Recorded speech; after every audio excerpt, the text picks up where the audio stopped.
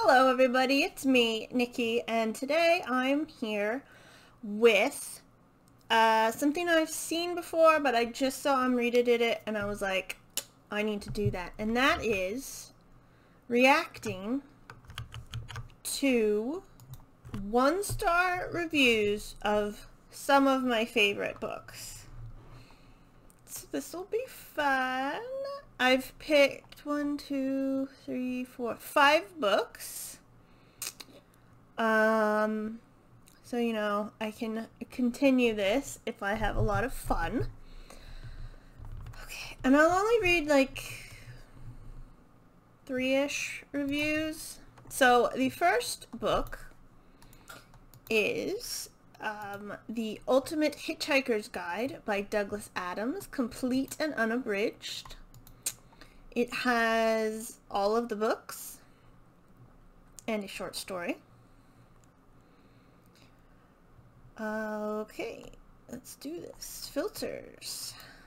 One star. Um, and if you don't know, Hitchhiker's Guide is about poor, poor Arthur Dent, whose house is about to get bulldozed to make way for a highway and then Earth blows up to make way for a space highway, so he can't catch a break. Uh, but he's with Ford Prefect, which I have read as Perfect for a long time. Apparently it's a car. I don't know that. Um, and then it just continues his event adventures in space and then not space. So, um, the first one is least their least enjoyed book of that year, which was 2015. Um, the science fiction had some interesting details. Those details often went off on tangents, leaving me confused and constantly wondering what was going on. The author's delivery, in my opinion, was pretty poorly done. Everything was in a jumble and I would have appreciated the information given more if it was delivered in a simple, composed way. It seemed as though the book did not stay on one event or character for a while except in the beginning. Overall, I would not recommend this book to anyone looking for a quick read or science fiction. It is a science fiction book but it is also a humorous book. Those details and tangents are what make it funny, and the everything was in a jumble because that's the point. Douglas Adams was part of Monty Python, like he was friends with them. Um, he might have even worked on some of the things. Um, yeah, he co-wrote with Monty Python and he, so like, that's his humor. Okay. okay. So, yes. Um, the next one is the majority of people who rated this five stars only read the first book. After the first book, the wheels come off.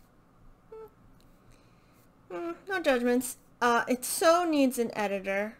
The author just had random ideas about where to put the characters and stick them there with bad dialogue and confused ideas about what to do with them. There are several scenes in the book with potential, but they were destroyed by confusion and dry British humor. Our main character Arthur seems okay that Earth has been destroyed. Never once do we really deal with his thoughts or feelings about what happened. All the characters for that matter are one-dimensional and get annoying after several hundred pages. It's confusing. It's so hard to keep track of what is was really going on as the books came and went. It just added to the sheer frustration. Read one book and then stop. There's no reason to continue. Okay. So if you don't like dry British humor, this is not for you. Because this is like the epitome of dry British humor. The scenes are what they are. I can't explain that to you any better. Like, they're supposed to be dry British. And uh, I think the characters are supposed to be one-dimensional. I feel like they are. And I think Arthur's never supposed to, you're not really supposed to get into their heads because they are flat and one-dimensional. But, you know. And it's not, I guess it is confusing. Which is why I would read all of the books at once. But okay. I would reread this. I did that in my tag video. I would reread this.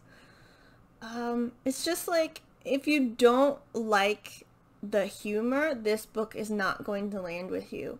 Like, it is a sci-fi book because it's set in space and it has, like, time travel and aliens, but it's not a sci-fi book, really.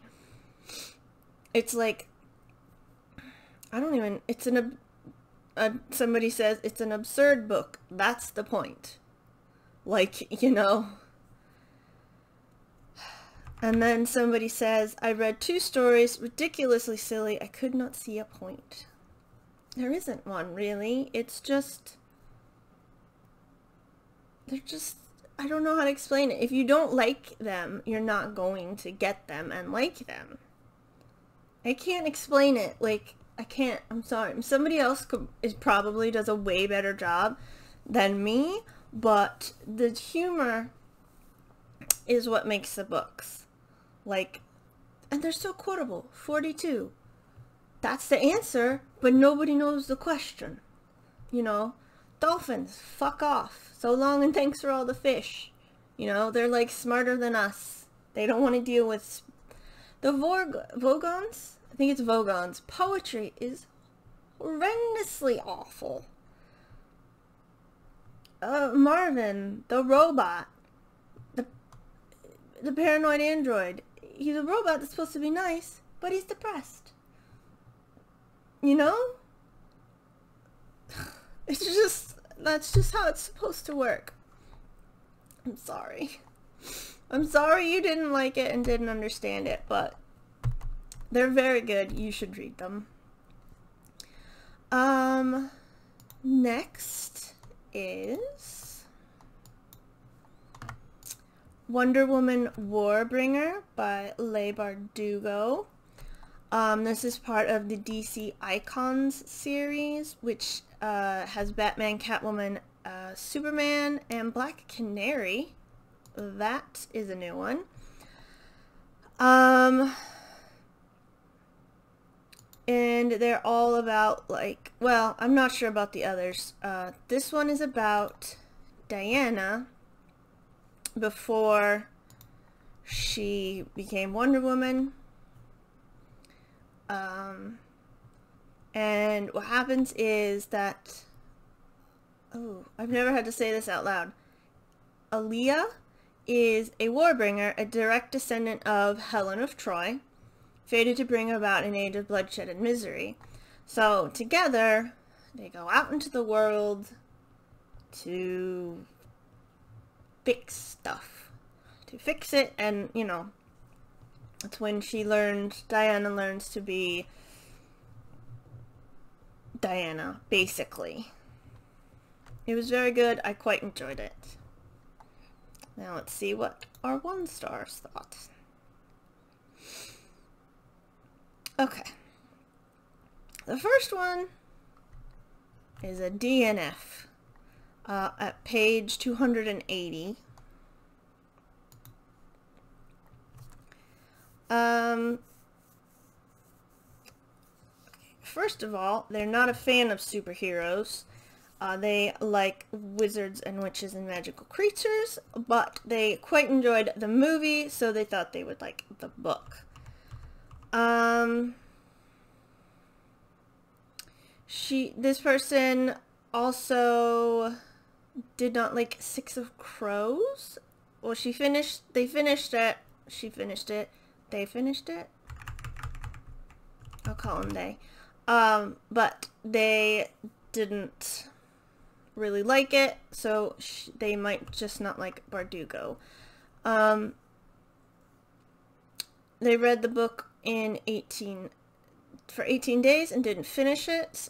Um, she they thought the plot was boring and they couldn't connect with it. Um,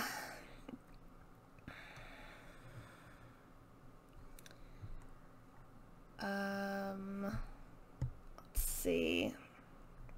The book made her fall asleep and they believed that Diana was boring.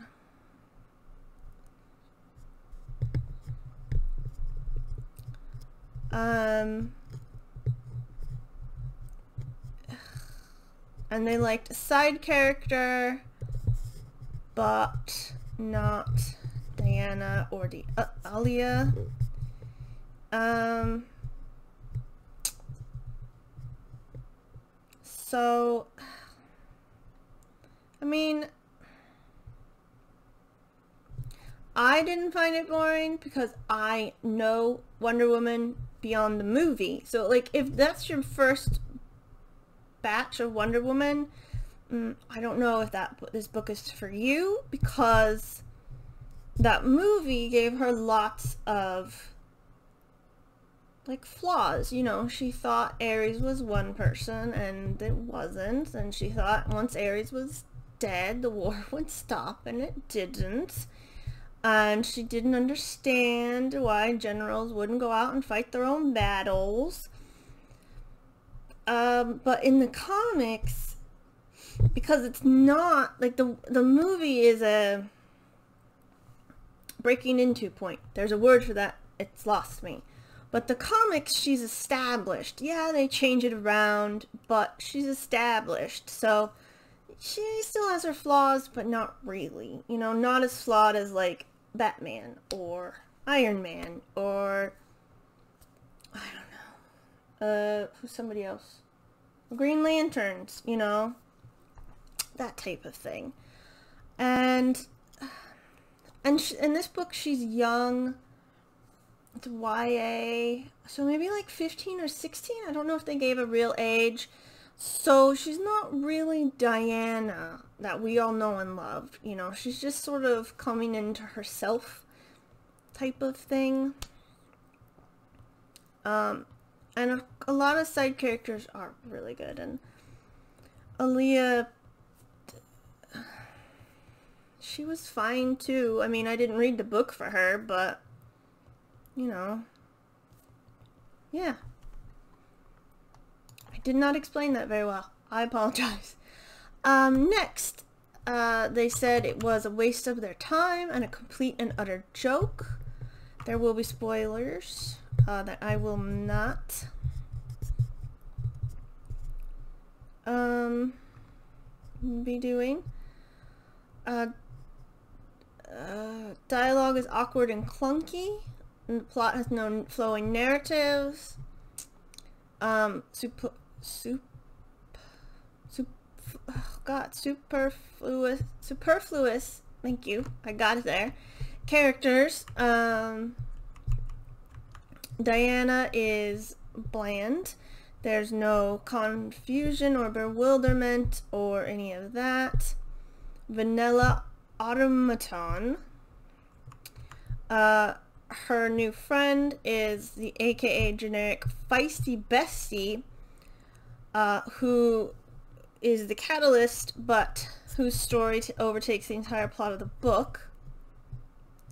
Uh, side cheesy teen love story. Um, it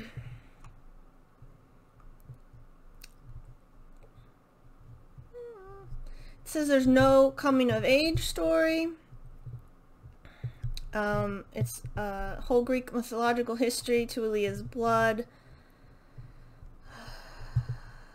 Um, it's an origin story. So let's put that focus on beginning for Wonder Woman. S choose either choose Diana's voice or Alia. Um, and then that's a spoiler. Uh, it was cringeworthy and depressingly cliched. Just read like a million other books. There's nothing uh, that makes it stand out. Okay.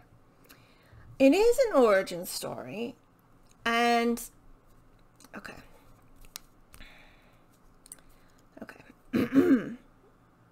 but it's not like, it's not even like an origin story because you don't see her like being birthed or any of that. And um it's her I guess it's her origin story at becoming a superhero and it's not overshadowed in my opinion because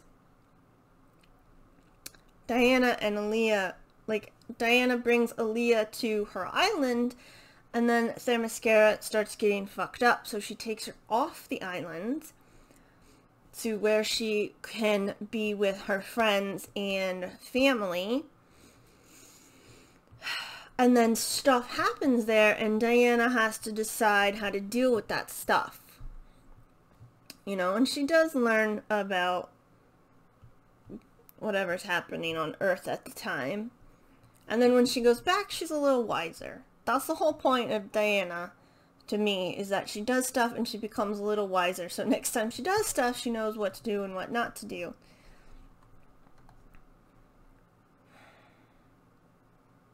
So that's just my opinion on that. Um, it's not as uh, Greek, like in Greek um, mythologies, there is like, uh, what that guy, what's that guy?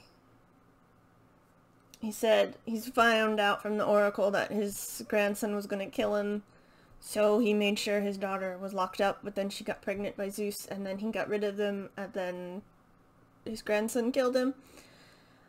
It there wasn't that type of thing but you know diana did learn something.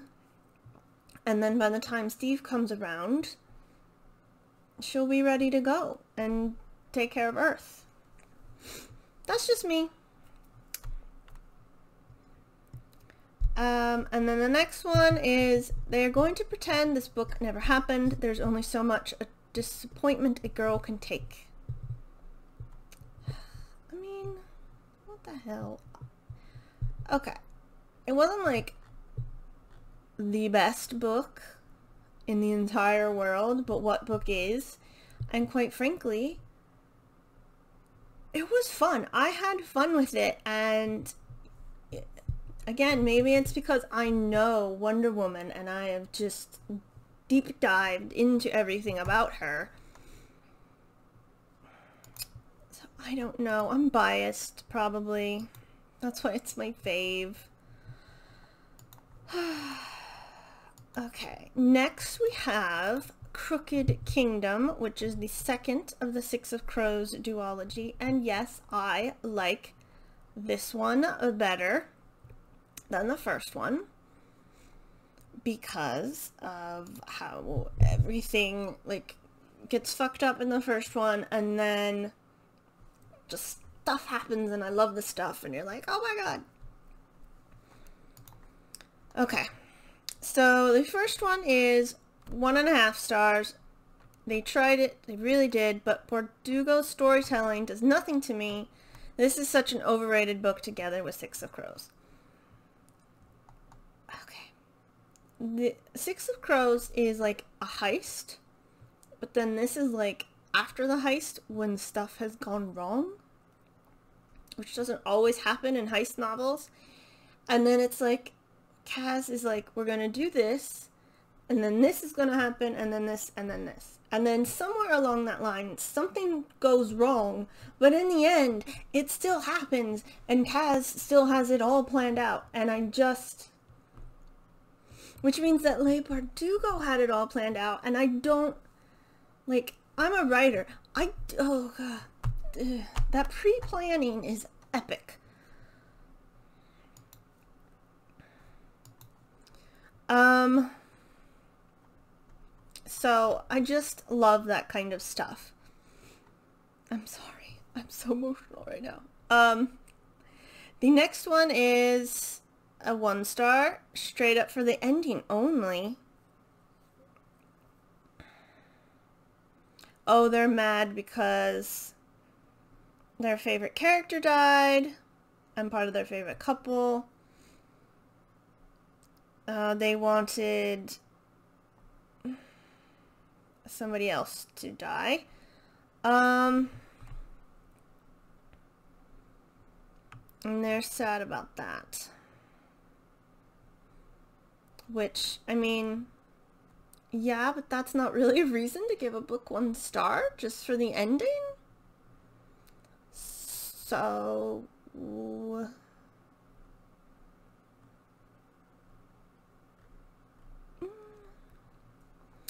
And the next one, oh, it's a good thing I'm only doing three because there's one that's not in English. Uh, what is, is that Russian? Don't quote me. Um, anyway, the next one is, uh, they were pretty conflicted about the first book. Uh, but I'd seen some people mention liking the second one better, so they decided to give it a shot. Um, to be honest, I'm not even sure Bardugo knew what the plot was supposed to be. I think she... Mm, mm. We'll just wait till we're done. Uh, going into Crooked Kingdom, I thought the plot would be centered mostly about rescuing Inej. Oops, spoilers. Uh, with a little bit of get our money on the side. I wasn't sure how it was supposed to fill over 500 pages, but I figured surely something more would pop up. Well, folks, it never did about 250, Inej comes back, and they really started struggling to finish the book. There was never any motivation to keep going other than getting the money, and the longer that took, the less I cared. In her attempt to drag this out, Bardugo added so much crap that served no purpose and then never bothered to do anything with it. Uh, then some spoilers. Uh, the climax made little sense to me as a reader because half of it came out of left field and half of it directly contradicted what we'd been told. Ah yes, Kaz had the true plan from even the reader. How genius. No, actually, it was very annoying to be suddenly be left completely out of the plan and be as clueless as the general public. We were told the basic plan and then once it was in motion it was clear everyone else knew the true plan but the reader missed that little meeting. In the end it made it seem like a bad Scooby-Doo villain reveal about those meddling kids while the gang congratulated themselves on their brilliance. It wasn't brilliant, it was convenient and stupidly easy. Okay, so first of all, it's not just about getting the money back. It's also about making sure that the people who fucked them over get destroyed. Because that is part of Kaz's plan. It has been from the very beginning. So, and I don't mind not knowing everything. I don't want to be told everything. Like, if I'd have known what the true plan was, it wouldn't have been as, oh my god, I can't believe that happened. So, like, it's written that way for a reason. Authors do not have to tell the reader everything just so you know. I'm going to actually talk about that in a different video, so look forward to that.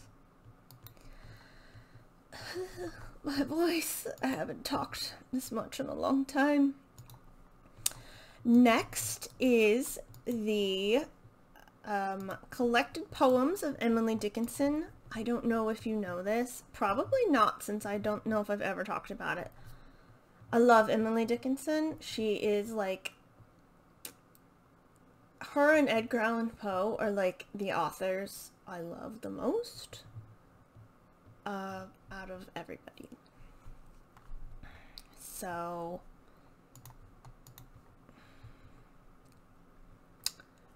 there's not a lot of one stars, or at least not a lot of one stars with um, words, reviews. So the first one is in an effort to test the flexibility of my mind, I picked up this collection. What followed was the equivalent of tearing a hamstring. From this experience, I've learned that when performing new activities, one should acclimate gradually and smartly or suffer injury, including an outright aversion to poetry. But alas, the hamstring is torn, and gentle rehabilitation may restore it to its former glory and potential. Suggested rehab for a poetry simpleton. Does Dr. Seuss qualify? Okay. Poetry, yeah, especially for dead people, and especially for Emily Dickinson, is uh, subjective. Like what the author, I know this because I write poetry. What the author writes is like coming from their heart and their head, and it means something. But what you read, it means something different. So that's why I took poetry classes. I never really liked discussing it, you know, because like it means something, especially because Emily Dickinson was the 1800s especially because her sister burned a lot of her love letters to her girlfriend. So, um, the next one is, I didn't really enjoy reading through this book of poems. I felt that most of the time I had no idea what I was reading. I will acknowledge that I haven't read much poetry and didn't really take time to meditate and ponder on them. Maybe in the future, when I become more familiar with poetry and I take the time to read them slowly, I will enjoy them more. I don't think you have to meditate and ponder on poetry. I mean, you can, but I think poetry can be, because it's small, it should be small, it can be ingested quickly and then moved on, and then later you can go back and like really focus on a poem. That's my opinion. So, and then the next one is I read it because it was on my reading list of a lifetime. Sing-song rhyming. There was a couple that I liked, but mostly just boring. I'm not sure how you can say it's boring. Because there's a poem about dying for beauty. Um, you know, she talks about death. So, that's not boring. That's what she lived with. I mean, like, uh, I don't know. I just love her. The brain is wider than the sky. I mean, that just tells you everything you need to know. And you know, when you're feeling bad, like, I don't know. I don't know. I don't understand how you can think this is boring. I'm going to add that to my list right now of work to do for booktube I love Emily Dickinson. And finally, we have The Curse of Chalion by Lois McMaster Bujold. This is one of my favorites and I like read it in 2020. It was so good. And of course, uh, the sequel as well. Sequel, Paladin of Souls is also as amazing. So let's see what these ones are. Oh, the first one again is a DNF at 42%. Um, they were trying to listen to this and they were trying to push it to the end because it's a book I picked up for a challenge. They can't finish it. I'm so grossed out by a 35 year old guy character having inappropriate thoughts about 19 year olds and 70 year olds. 19 and 17 year olds and a 40 year old saying he'll rape the 16 year old if she doesn't obey him. If you haven't figured it out, I really don't approve of this. I feel sick after reading it. We'll come back to that. Besides the mentions, the story is dry, not many things happen, but there are so many descriptions and things. There may be too many characters, or they simply didn't pay attention because it didn't pull me in. Why the majority is giving 4 to 5 is incomprehensible to me, but to each his own. Okay. First, it's set in a medieval world. So that happened. 35 or older, married 17 or younger. So, and like the 35 year old, he took him a while to like even admit to having feelings. And then they were sweet about it. And now the 40-year-old raping the 16-year-old, but he's an evil man. like, he's an asshole. He's clearly the asshole of the book. Um, as for the story, in the beginning, there's not a lot of action. But once the thing happens, to me, it just picked up. But you know what? Like it says, to each their own. Um, next one. They also DNF'd. They read seven chapters, but the author focused enough on the 34-year-old being aroused by the 16 and 19-year-old. He had, they had to put it down. If that's something that's quick you, avoid this book. Again, it's not, it's mentioned because he's been in a prison ship, uh, a slave, and they are pretty young girls purposefully flirting with him because he is a vaguely handsome man who is nice and smart and saves their lives. Um, so, but that's not the point of the book. Like, it's not a romance. It's there, but it is an action-adventure story with gods who are amazing. Gosh. And again, there's, in the next one, Started off so interesting, like an ex-Lord Edmond Dantes and Jean Valjean. Valjean? Valjean. Hybrid escaping from enslavement to restart his life. A character who needs to refine himself. A man of... A mystery of a man killed by magic. I should have loved it, but I couldn't finish it. We're supposed to root for a grown man, less after his two 16, his two students, after he teaches them to swim. He attaches uh, his love to one of the girls who's 19, gross, not exaggerating. She's not given anything else. Maybe that she and the princess like to get into trouble. Uh, yeah, they just didn't like it because of that. The guy, though, his inability to restrain himself around his swim... Mr. Super Special, always right, gather around everyone. This book works to portray him as a courtly man fallen from grace. Uh, well, I could not see why any of the characters cared about any other characters enough to defend or sacrifice. Then I just stopped caring. It's not their cup of tea. What? Again, again, I know it's there. And it is a point that it is a returning health. Because he's been beaten and starved.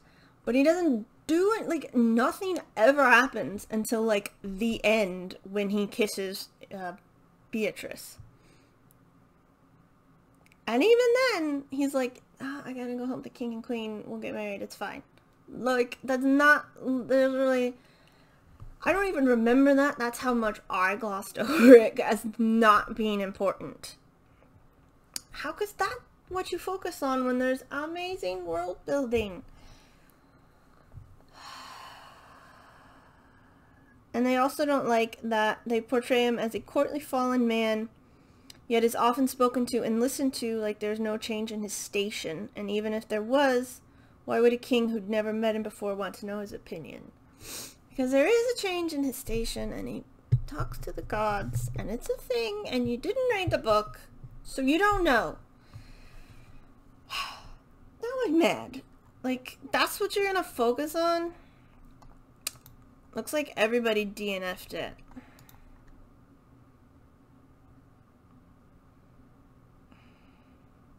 Because of that. I mean, that's. Okay. That's your choice. But whatever. Ugh. I'm gonna have to do this again, because I'm very fucking salty now, so... Oh no, my lipstick got all over the place, because I got so angry. Where is it? Oh no. Oh well. I got so angry my lipstick got messed up. Damn you one-star reviews. Well, anyway. Thank you very much for watching. I hope you enjoyed it. I hope you're not bothered by that. I know I'm going to be. So I'm going to take care of it when this is over. And I will see you in the next video. Oh, and I hope you're having a lovely day. Goodbye!